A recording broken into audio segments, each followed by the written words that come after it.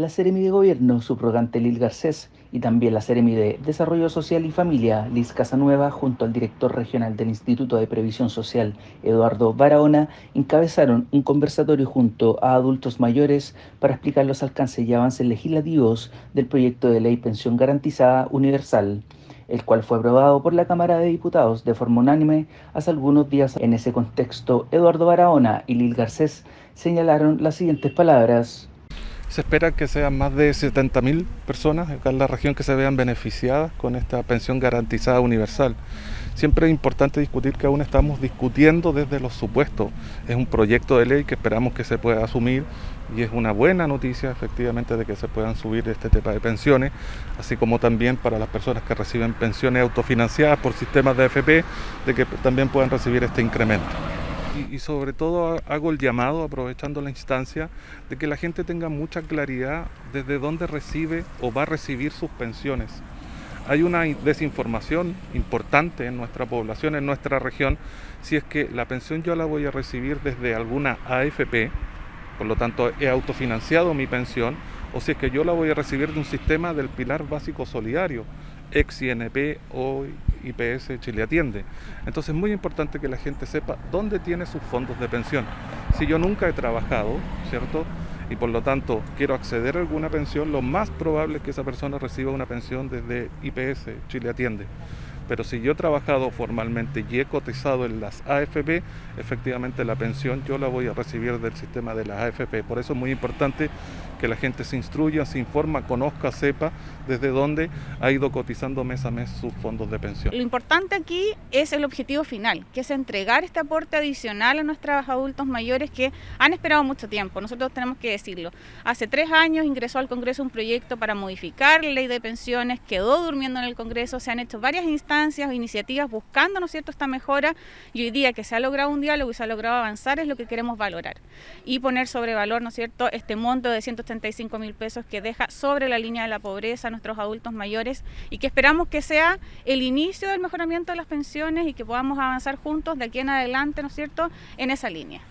En la Junta de Vecinos número 53, Raúl Silva Enríquez, estuvieron presentes las autoridades respondiendo a las consultas pertinentes e informando acerca de esta iniciativa que entrega un aporte de hasta 185 mil pesos para todos los mayores de 65 años que se encuentren en el 90% de menores recursos y que estén pensionados o no y quienes tengan una pensión base menor o igual a una pensión de 630 mil pesos o una pensión base autofinanciada superior a 630 mil pesos y de hasta un millón de pesos, monto que disminuirá gradualmente. En el contexto de esta reunión, si bien los vecinos agradecieron la visita de las autoridades, se mostraron insatisfechos con el aporte de hasta 180 mil pesos y con que éste pueda beneficiar a quienes perciben una pensión de 600 mil a un millón de pesos. Es importante que las autoridades vengan a sacarle la duda a los adultos mayores porque ustedes saben que el adulto mayor recibe de todas partes, uno le dice una cosa, otro le dice otra, pero no tienen claridad. ¿ya? Y lo más importante es que vengan al lugar donde están los adultos mayores, porque hay muchos, ustedes se dieron cuenta que hay mucha gente que llegó, ¿no es cierto?, apenas acá y necesita información. O sea, es poco. Yo entiendo, ¿no es cierto?, que eh, no puede ser más por la cantidad de adultos mayores que hay, pero es poco. O sea, eh, yo estoy de acuerdo en que eh, se le debiera dar a la gente, pero eh, si una persona gana 600 mil pesos en comparación con otra que gana 100, ya lleguemos a 600. O sea, no, le, no el que tiene 600 le damos 780. por una parte bien, pero por otra parte mal. Porque ¿cómo puede ser posible que una persona que gane, ejemplo, yo gano, mi, pensión es 170 lucas. ¿Tengo derecho para recibir lo que están diciendo? ¿De los 185? No puede ser. Esa plata que quieren dar ahora, ni dar a la persona que, que saca menos, no la que están sacando más. A mi, en mi manera mía, en mi manera de pensar. En cuanto al financiamiento, la Comisión de Hacienda de la Cámara de Diputados despachó a sala el proyecto que elimina o reduce exenciones tributarias, el que busca entregar una parte del financiamiento a la PGU que pasó al Senado.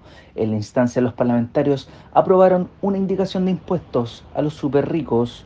Con respecto a esto mismo, la Seremi Lil Garcés expresó lo siguiente. Se ingresaron dos proyectos por separado. Una parte del financiamiento, donde se iban a hacer las modificaciones a las exenciones tributarias, y por otro lado, el de la pensión garantizada universal. Eh, eh, para nosotros es un acierto haberlo hecho de esa manera. Al principio se criticó mucho, pero hoy día vemos que es un acierto porque nos permite avanzar con la pensión garantizada universal por un costado y por el otro tener esta discusión sobre las exenciones.